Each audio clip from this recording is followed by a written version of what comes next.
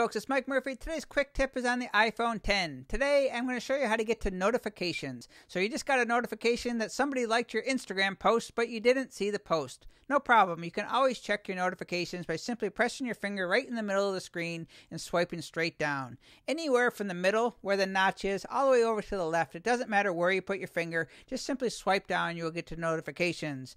If you were to the, go to the right of the notch where the battery meter is and swipe down, you're going to get to the control center.